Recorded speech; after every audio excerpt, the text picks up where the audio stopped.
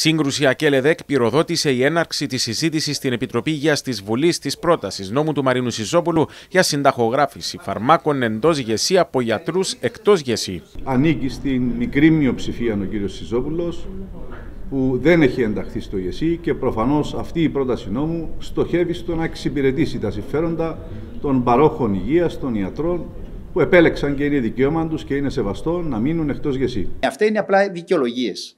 Από εκεί και πέρα, αφού είναι τόσο ευαίσθητοι σε αυτό το θέμα, να σας πούν πόσοι από τα μέλη της κοινοβουλευτικής τους ομάδας, που είναι διαφόρων επαγγελμάτων, είτε οικονομολόγοι είτε δικηγόροι, δήλωσαν ποτέ σύγκρουση συμφέροντος. Με την πρόταση διαφωνεί και ο ΆΙ, αφού όπως ανέφερε ο πρόεδρος του, αλλοιώνει τη φιλοσοφία του ΓΕΣΥ. Το θέμα δεν έχει εξαντληθεί, σίγουρα θα επανέλθουμε.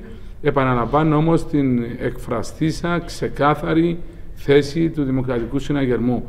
Καμία αλλαγή που θα δημιουργεί αλλαγή στη φιλοσοφία ή την αρχιτεκτονική του Γενικού Σχεδίου Υγείας όπως τη γνωρίζουμε. Ο πρόεδρος της Ομοσπονδίας Ασθενών Μάριος Κουλούμα έκανε λόγο για βόμβα στα θεμέλια του ΓΕΣΥ, ενώ το Υπουργείο Οικονομικών εξέφρασε φόβους για αύξηση στις δαπάνες και τις καταχρήσεις. Εμείς είμαστε έτοιμοι με καλή πίστη να τα συζητήσουμε χωρίς να δημιουργούμε την εντύπωση ότι επιχειρούμε με τον οποιοδήποτε τρόπο να αλλοιώσουμε ή να παρέμβουμε στην κεντρική ιδέα και στην κεντρική φιλοσοφία αυτού του σχεδίου. Ο Παγκύπριος Ιατρικός Σύλλογος στάσεται υπέρ της πρότασης Μαρίνου Σιζόπουλου.